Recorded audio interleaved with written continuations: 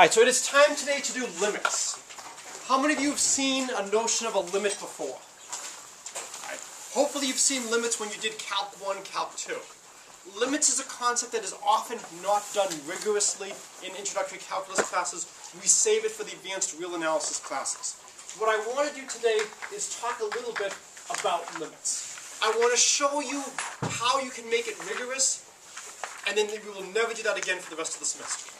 I just want you to have a sense of what's there. For those of you who are considering a major in mathematics, you will get to see this in all the rigorous detail that you will want in later classes such as real analysis. I am not going to go through the beginning of the lecture on what is an open set and all that stuff. Those definitions are done online. If you are going to continue in mathematics, you really want to learn the language. Okay? The main thing is an open set is a generalization of an interval. So in one dimension, we have open intervals. And these are things, you know, A, B is the set of all x, A less than x less than B. The closed interval, and we put square brackets, will be the set of all x, A less than equal to x less than equal to B. It turns out for calculus, open intervals are very convenient. What it means is you have some point and you have some neighborhood near that point, and you try to localize the action to what's happening in that small vicinity. And that's what we're going to be doing when we try to study limits. If you're trying to figure out what is your instantaneous speed, let's say when you're passing through Hartford, you know, on your way from Boston to Baltimore, it doesn't really matter what's going on in New York City. That doesn't affect what's going on at that instant. You can localize your function to just that little area. And that's essentially what we're going to be doing for limits. Okay? So the question is, how rigorously do we want to define limits? I have been doing this for three years, and so I do not feel the need to ask you how rigorously you want to do this. From talking to previous classes, I have a pretty good sense of how much rigor you want. I will do just a little bit more than you probably want, but not as much as you will get in a real analysis class. So let's do the informal definition. so informal. The limit um, as n goes to infinity of an is a if an minus a goes to 0 as n goes to infinity. Or, if I'm doing things for functions, the limit as x goes to x naught of f of x is L if the limit as x goes to x naught of f of x equals L. i.e., the limit as x goes to x naught of f of x minus L equals 0. Okay? So if you want to think about what's going on, let me draw a little picture. Here's my x-axis. Here's my point x naught. Here's a value L. You know, here's my function y equals f of x. And so here's what's going on at some point x naught. So we'll say that as x gets closer and closer to x naught, f of x gets closer and closer to L, then L is the limit as x approaches x naught. Okay? There's some subtleties. How many of you have seen a definition roughly like this at one point in your life? Okay. There's a subtlety in the definition. So whenever you see a definition, you always want to ask, what do the symbols mean? What does x converges to x naught or x approaches to x naught mean?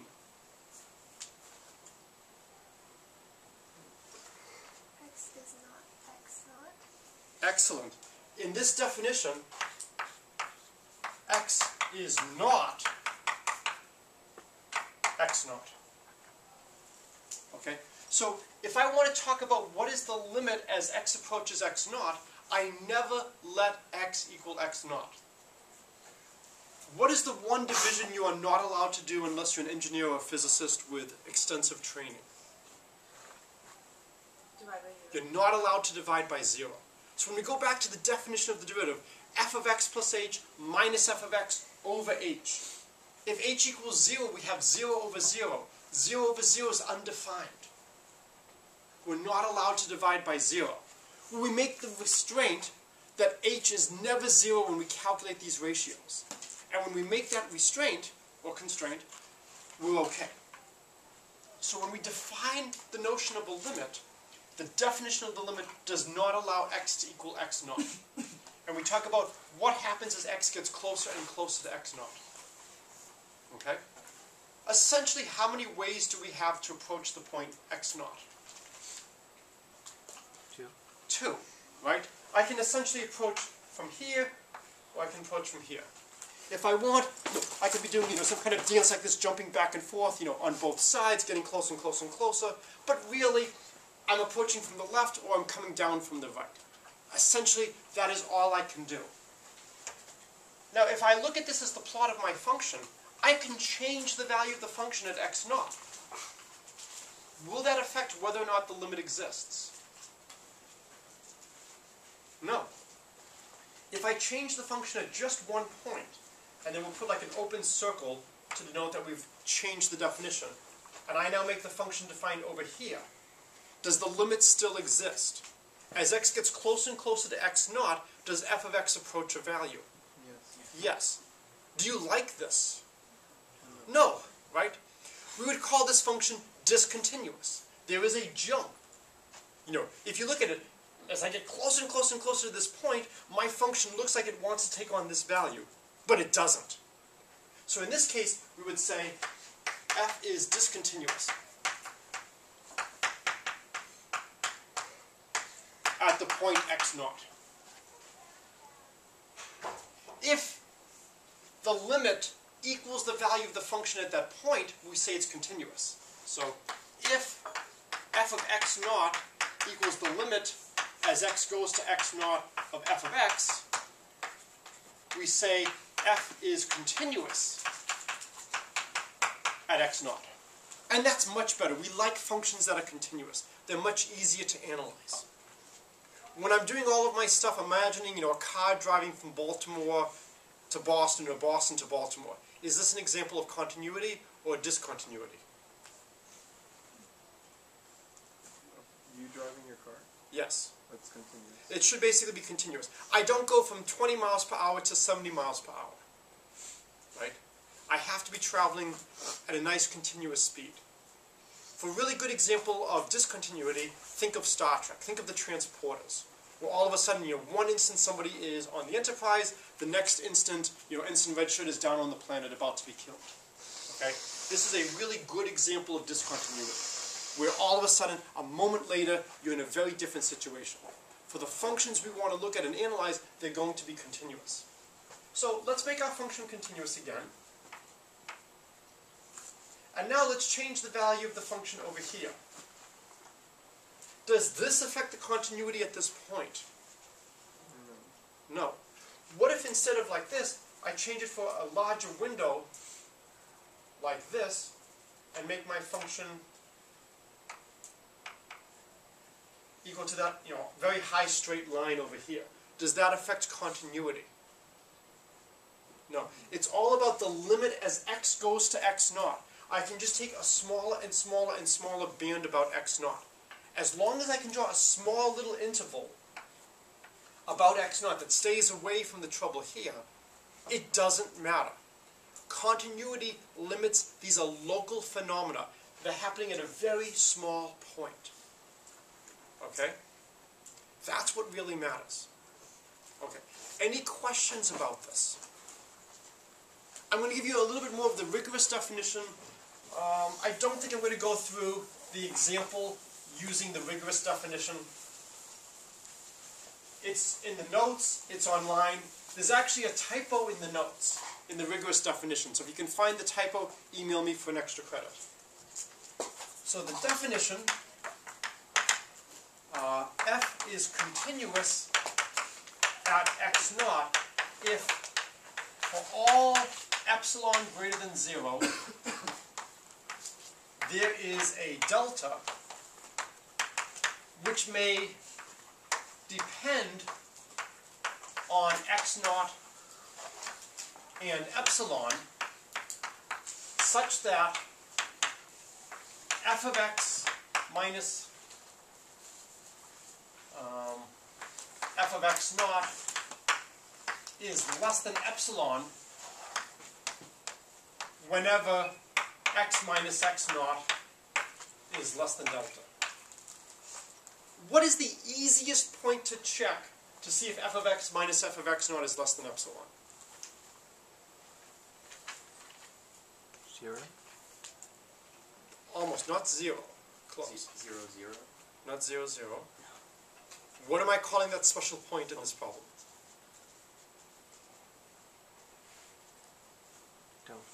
I'm calling it x naught, right? x naught might not be zero, it might not be the origin. If I plug in x equals x naught, is f of x naught minus f of x naught less than epsilon? Yeah, if epsilon is a small positive number, this is zero. This is very easy to check when x equals x naught. The difficulty is when x does not equal x naught. So if you think about what's going on, here's x. Uh, here's x naught. Here, let's say this is the value of f of x naught. Think of epsilon as a tolerance. It's a game we're going to play. I don't know any student who ever wants to play this game, but, you know, imagine for some strange reason this sounds appealing. I, and we're going to have the following challenge. You give me an epsilon, and I have to give you a delta. My epsilon, I'm sorry, the epsilon you give me, and the point you give me, is going to affect what delta I have to choose. And you say, I want to be at most one-tenth away from f of x naught. Can you tell me that if I'm sufficiently close to x naught, I'm going to miss by at most one-tenth? And my job is to find such a delta. And then when I give that to you, rather than saying, great job, professor, have some M&Ms, you did a good job today, you'll say, okay, well, you know what, that's too easy. I want you to be within 1 over 100. I said, fine, I, I'll use this as my delta. Then you say, you know, actually, I changed my mind again. I want to be within 1 over 1,000.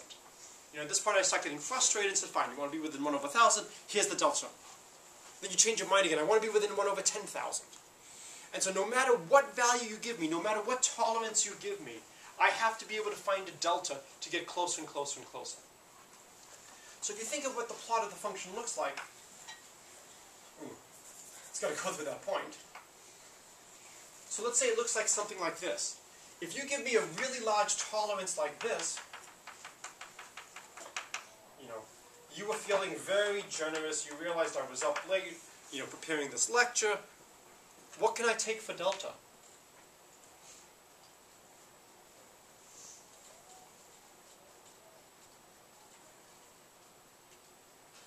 So let's say this is 1 over here, this is 4 over here, let's say this is 2.5. What could I take for my delta? How big of a window about x naught could I take?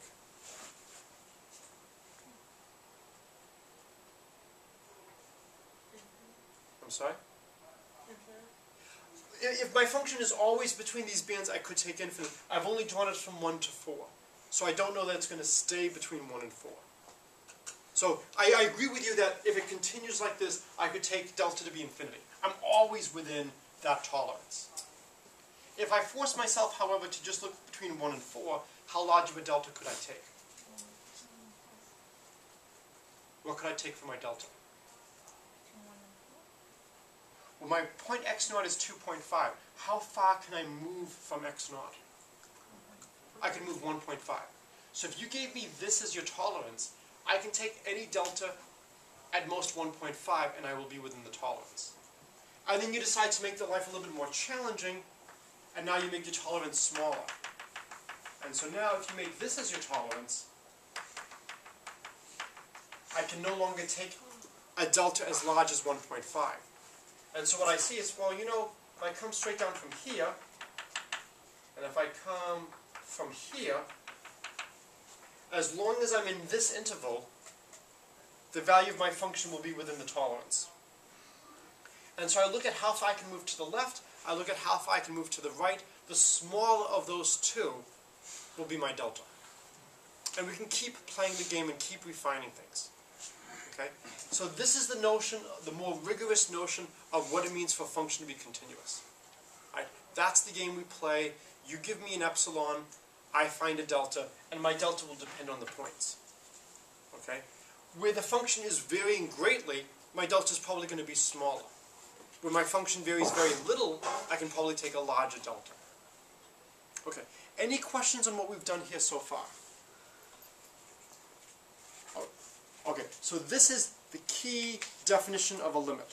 For the most part, I really don't want to work this rigorously, I just want you to be aware of it. And we're going to just do the informal notion of we know a limit when we see it. Okay. Uh, one example that's worth doing, uh, and this does show up a bit, is example. Let's look at the limit as x goes to 2 of x plus 2 over x um, plus 4. What will this limit equal?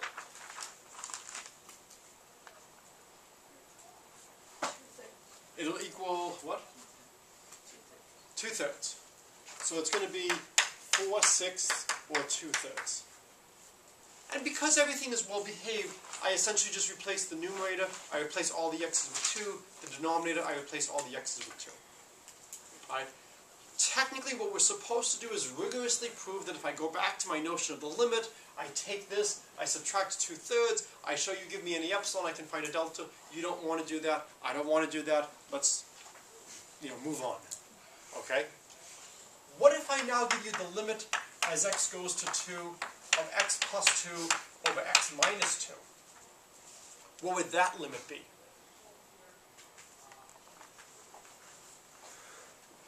yes? Infinity. Infinity or undefined. So if x is a, is a little bit greater than 2, it's going to go to positive infinity. If x is a little bit less than 2, it's going to go to negative infinity. So this is undefined. Let's do one last one. The limit is x goes to 2 of x squared minus 2 over x minus 2. What does this equal as x goes to 2? 0. Why 0? Oh, wait. A minute. Um, sorry. Let's do x squared minus 4 over x minus 2. Okay, so good. Why, why undefined? The bottom be uh, zero. The bottom will be 0, the top will be 0. But remember, when I say x goes to 2, you don't know what value x is, but you know what value x is not. What does x not equal? x does not equal 2. So if we stay away from x equals 2, this is the same as the limit as x goes to 2. Well, x squared minus 4, I can write as x minus 2, x plus 2, over x minus 2. If you listen very closely, this is screaming at you to do something. It's screaming, cancel the 2's, the x minus 2's. Because x does not equal 2. Because x doesn't equal to 2, I can just cancel these. Alright, well what's this limit going to equal now? 4. So in a situation like this, the limit is actually well defined. And then you could say, well, if I now made this my function, how should I interpret this function when x equals 2? A really good way to interpret this function is to say, let's call this function equal to 4. And so in fact, if you were to plot this function, here's 2, here's 4, the function looks like this, right? It's 4 everywhere except at x equals 2. It seems reasonable to say, let's just make this function equal to 4 at this point. Okay, so these are some of the standard limit calculations to do. Okay? Any questions about these examples?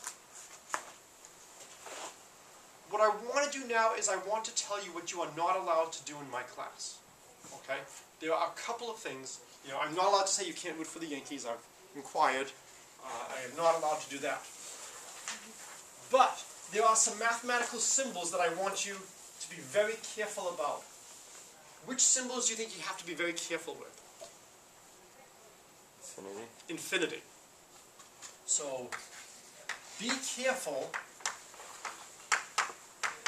with infinity divided by infinity, infinity minus infinity, 0 times infinity. These things are not well defined, and they depend greatly on the problem. So if you want, I will sketch a proof that in some cases, 0 times infinity is negative 1. Okay? So, sometimes 0 times infinity is negative 1.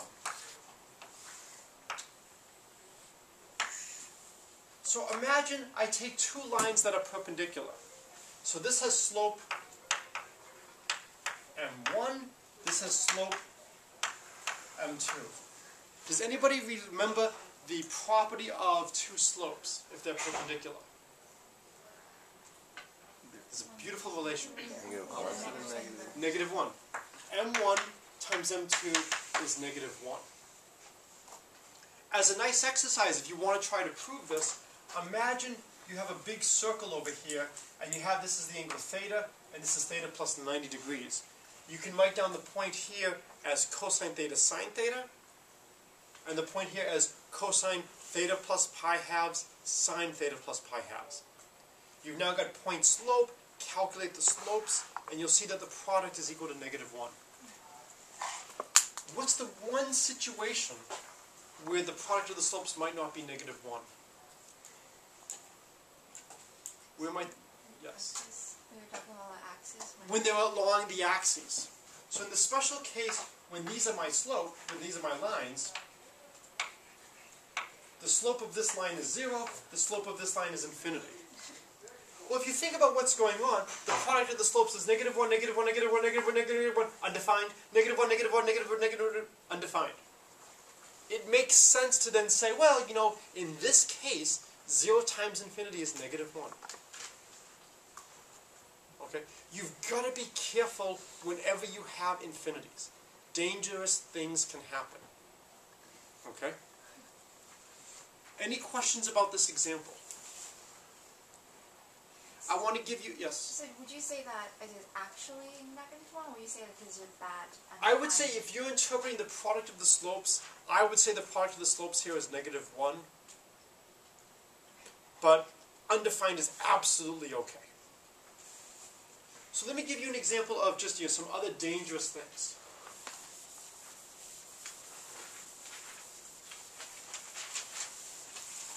So let's look at example. The limit as x goes to infinity of x squared minus x. The limit as x goes to infinity of x minus x squared. And the limit as x goes to infinity of x squared minus x squared. What does the first limit equal?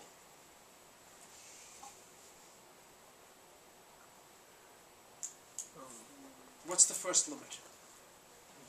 infinity. So x is huge, but x squared is much, much larger than x. You know, a thousand squared is much larger than a thousand. This first limit is going to be plus infinity. What about the second limit? It'll be negative infinity. And what about the third limit? Infinity minus infinity. But let's think. How many of you have ever read Henry David Thoreau? Okay. He is the patron saint of mathematics. He has very sage advice for you. What line of Henry David Thoreau am I thinking of? Yes. Uh, simplify, simplify. Simplify, simplify. I'll toss you two M&Ms for that. Now, what should Thoreau have said instead of simplify, simplify? Simplify. Simplify. He should have simplified, simplify, simplify to simplify, but he wanted to really drive home the point, so I will allow him. When I was a postdoc at Brown, uh, there was a very rich patron of the university who loved Henry David Thoreau, and he actually bought a lot of Thoreau's stuff and donated it to Brown, including the college textbook he used when he was an undergraduate at Harvard. And in fact, we actually had his math book with his notes. And so it's very interesting to see Thoreau do mathematics. You normally don't think of him that way. Why is simplify, simplify sage advice? Before you do any math calculation, look and see, can you make things easier? Can you simplify things before you start doing a lot of algebra? So, We'll write here Thoreau. Simplify, simplify. Before I start doing this calculation, well, what's x squared minus x squared? So this is just the limit as x goes to infinity of 0. Okay, that I can do. It's identically 0. Okay? What I would love to do is I would love to say the limit of a difference is... What rule would you love to have true? The limit of a difference is the Difference of the limit. difference of the limits, right? If you could choose, okay, let's go back to Calc 1. If you could choose what the product rule would be or what the quotient rule would be, would you choose what you learned? No. If you were designing the universe, you might try to design the universe in such a way that the derivative of a product is the product of the derivatives. Not happening. Okay? You'd love to have the limit of a difference is the difference of the limits. Not happening. What is the difficulty? Why does that break down? It breaks down when one of the two limits is infinity. If both limits are infinity, boy, are we in trouble. But if at least one of the limits is infinite, you're in trouble. If both limits are finite, everything's okay. And then you will have the limit of the difference is the difference of the limits. So what I want to do now is I want to just talk about some of the key limit laws. And then when we get into derivatives later, we will see these limit laws lead to corresponding rules for derivatives. Okay? Any questions on this example before we go? Yes? So what were you showing that we that we sh- that's tricky because you're talking about infinity? Well, I'd love to say this, I would love to say is the limit as x goes to infinity of x squared minus the limit as x goes to infinity of x. But if I do that, this is equal to infinity, this is equal to infinity. I have infinity minus infinity. Infinity minus infinity is not defined. And so, in that situation, I don't know what it is. All three of these are actually infinity minus infinity. In the first one, infinity minus infinity is infinity. In the second, it's negative infinity. In the third, it's zero. Okay? So what I want to do is I want to show you which rules of derivative, I'm sorry, which rules of limits are actually true. And what are the conditions. So one of the biggest mistakes people make is they use math theorems without checking to see if the conditions are met. A great example is the financial crisis. A lot of people used certain formulas to price options, to figure out what's going to happen, without checking to see if the assumptions were reasonable. Hint, they weren't. And so they were using formulas in places where you had absolutely no right to assume that they would be acceptable to use. Okay, so now what we're going to do is limit laws. So the one is the constant rule.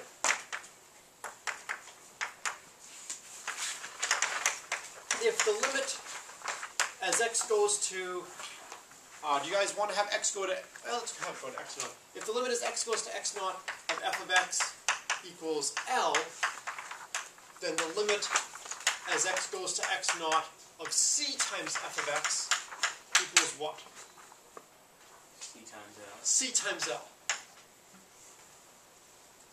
Think of this as changing things from meters to feet, or miles to kilometers. When I multiply by c, I'm changing my units of measurement. So if I'm converging to being five miles from home, and now instead of measuring things in terms of, instead of miles, if I now use kilometers, it's about 1.6 uh, kilometers make a mile. I would now be about 8 mi- kilometers from home. Okay? So if I just multiply all of my numbers by c, the limit multiplies by c. The next is the sum difference rule. If the limit as x goes to x naught of f of x equals um, L1, and the limit as x goes to x naught of g of x equals L2, then the limit as x goes to x naught of f of x plus g of x is equal to L1 plus L2, and similarly for the difference. So if you think about it, if I'm converging to getting $1,000 in my bank account and you're converging to getting $10,000 in your bank account, then together we're converging to having $11,000 in our bank account. Okay? What condition do I need to add for this to be true? Not infinity. Right. Technically, I only need one of the limits to be finite.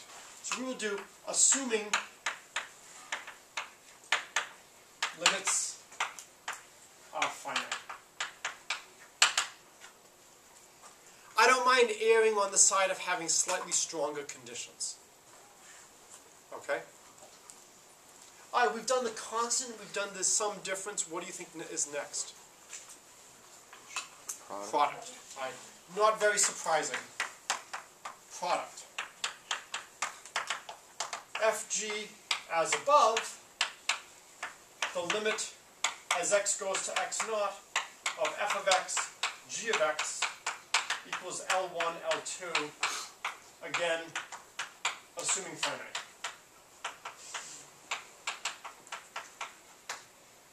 Right? So as long as we assume that the limits are finite, everything is okay.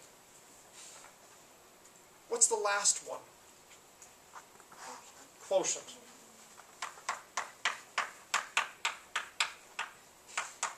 So FG L1, L2 as above, the limit as x goes to f to x naught of f of x over g of x equals L1 over L2.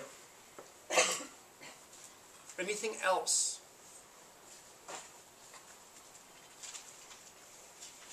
Do I need anything else for this? L2 can't equal zero. Excellent.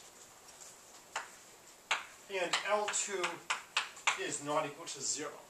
Right? We are not allowed to divide by 0. So as long as L2 is not equal to 0, this is fine.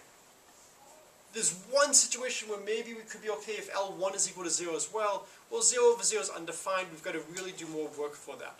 As long as L1 and L2 are non-zero, this is no problem. Any questions on these different limit laws? There is one other limit law I'm not going to do in class. It's in the lecture notes online. If you can't have two different values for your limit. So if x approaches, you know, 5, I can't be approaching 7 miles from home and 12 miles from home. Right? If the limit exists, the limit should be well defined. I can't approach two different values simultaneously. Okay? These are the key facts we need about limits. And now that we have that, now we can move on and we can start talking about calculus. Okay? You know, i.e. the point of this class, you know, finally. Any questions on limits before I erase this and we change? Okay. If you have not picked up a piece of artwork by Kayla, you know, please grab one if you want before. As I said, if you've seen the Karate Kid Part 2, just like there's the secret of Miyagi Karate, this is the secret of Miller Calc 3. Now, unfortunately, and I know this is being recorded, so Kayla might watch this later, while I appreciate the fact that she was drawing these personalized uh, swirlies, as she calls them, or scribbles as I call them, she ran out of steam and stopped somewhere around the low 20s. So I, I- I will admit I have scanned in and printed out a bunch of them so that there's enough for everyone. Some of you do not have original artworks, you have... Although I can assure you that the difference in price, you know, 20 years from now, should be negligible. Alright? Yeah. This is the secret to Calc 3, okay? Uh, I- I will hold up a good picture. Oh yeah, this is a, this is a nice scribble, okay? This is the secret. If you understand this picture, you understand the most difficult concept of Calc 3 and why two dimensions, or three or higher, is so much harder than one dimension. Okay? What does this have to do with calculus? It's a C I'm sorry? what have we been talking about today? Limits. So when you have a limit, you have a path. You have to look as x approaches x naught. In one dimension, is it really challenging to talk about how x approaches x naught? No. you really have two options in one dimension. So limits, or let's call it limit paths. One dimension. X goes to X naught. It's boring.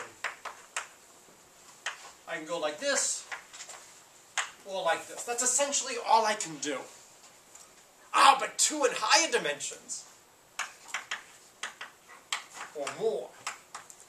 It's now exciting. You know, I'm not nearly as good of an artist as Kayla. I have to be able to analyze what is going on if I choose this path. Okay? It would be a nightmare to write this path down. Okay? But when I look at all paths as x goes to x naught, I have to study something like this. Okay? This is what's going to make it significantly harder to deal with limits. Okay? So that's why I say this is the secret to Calc 3. You always have to think, I have something like this. Okay? Alright, so let's do an example. So I will do the same example that's in my notes. Let's do f of xy equals xy um, over x squared plus y squared. Okay? You have to calculate the limit for every possible path. Can anybody think of a nice path to take? I want a nice, and I need a point. So if you had to choose a point, what point would you like? Zero, zero. So let's look at the limit as the point xy goes to the point 0, 0 of f of xy. So path 1, somebody give me an easy path to approach the origin. There's two natural candidates. What's a good candidate to approach the origin?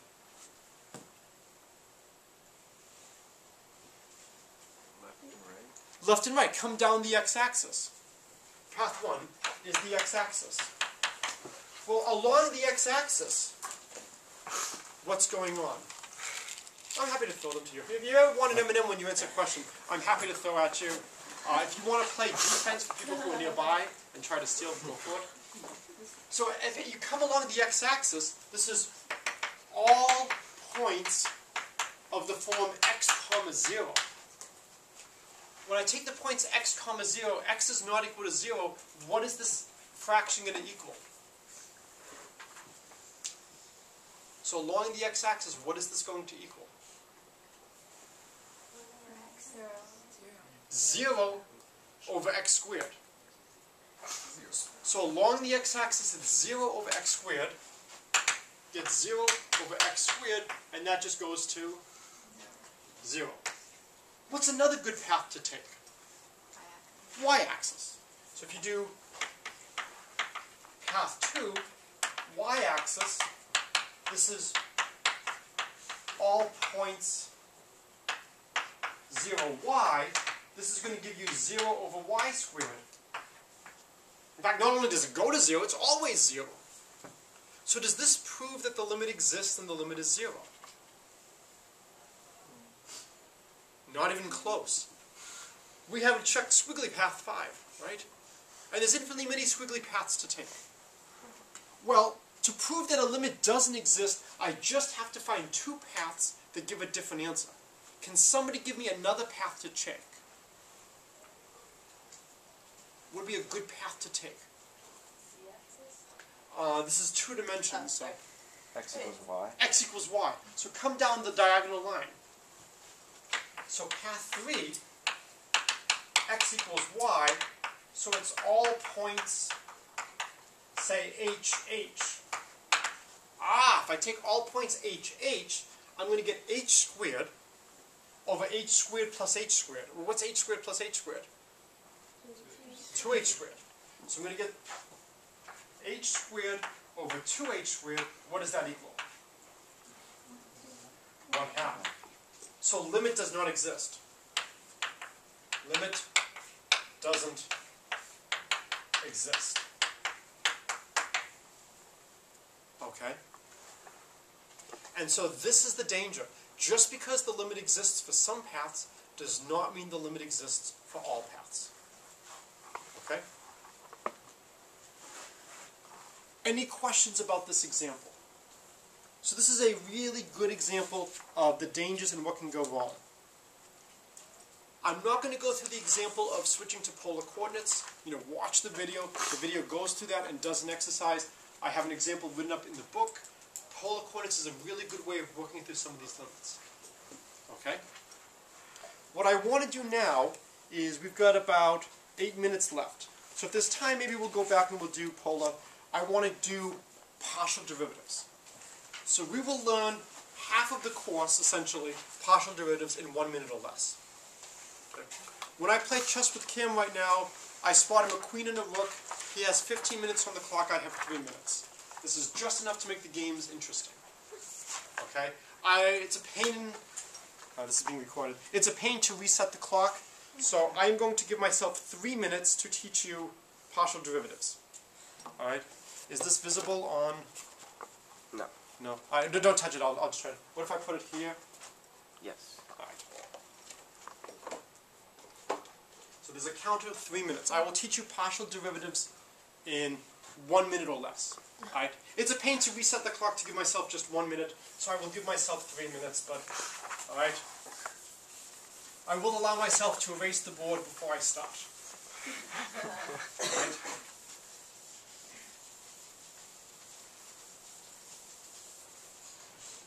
So Anybody ever see the movie Something About Mary? Alright, so this is kind of like the six minute abs. Alright? You guys ready? So, it doesn't click exactly much as Alright, ready? Let's try to get One, two, three, go. So, the partial derivative of f of x1, xn with respect to the variable xk denoted partial f partial xk at the point a1, an, so at the point a equals a1, an is obtained by considering all other variables constant and just do the standard derivative with respect to xk. Close, right? Uh, took a lot longer than normal. I decided to actually write the whole point. That's it. You've now learned partial derivatives. Essentially, all you do for partial derivatives is just pretend all the other variables have their value fixed. Imagine you have six variables, and five of them have their value fixed. How many free variables do you have? One. What class are we now reduced to? Calc 1. This is what we love to do in math. We love to reduce things to previously done classes. Okay, so all we do is we consider every other variable fixed. Right? This is the definition. Okay? So for example, let's say I give you f of x, y is equal to x squared y plus y cubed x. This is a function of two variables, right? What if I now look at the function g of x equals f of x3? That's going to be 3x squared plus 27x. Do you know how to take the derivative of the function 3x squared plus 27x? Yes. g prime of x is just 6x plus 27. How many of you have used the notation prime before? Prime is good and bad notation. When you only have one variable of interest, it's clear what you're taking the derivative with respect to. So the prime means take the derivative of the function. Well, there's no y variable going on. I'm taking the derivative with respect to x. The prime means take the derivative of my function. If I have several variables, now it's not so clear what's the variable for differentiation. And that's why we need better notation. So sometimes we write this as d, dg dx equals g prime of x. That's much better notation. It indicates what is the variable being differentiated, what is the function. We want a way to specify what's going on when we have several variables.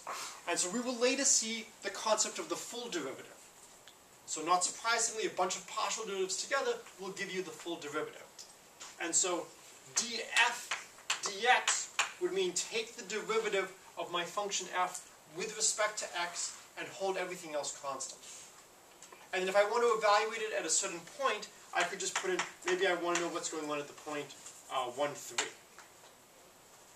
Yes? What's the difference between the two ways of writing b? This indicates I'm taking a partial derivative. It indicates that there's more variables going on, that there's other variables in the background. So it's you can quickly look down and get a sense of what's happening. That's why I like notation like this. I know that there's more that meets the eye than just the variable x of interest. This is partial derivatives. So now, if I ask you to calculate the partial derivative of f with respect to x, I can go back here. I just imagine that y equals 3. Except I don't write down y equals 3. I just leave y as a free variable. But in my mind, I consider y fixed. So what would be the derivative of this function with respect to x? The partial derivative of this function with respect to x. What would it be? So the partial derivative of f with respect to x. Y 2x, 2xy 2xy plus y cubed. And again, if I put in y equals 3, I would get back to this. If I want to know what's the partial derivative at the point 1, 3, I now take x to be 1 and y to be 3, and I put that in. This is all you need to do for partial derivatives. We're going to do a lot more uh, the week after the exam on notation, on a rigorous way of defining how do we take partial derivatives with respect to limits. Well, you're going to go back to the definition of Calc 1.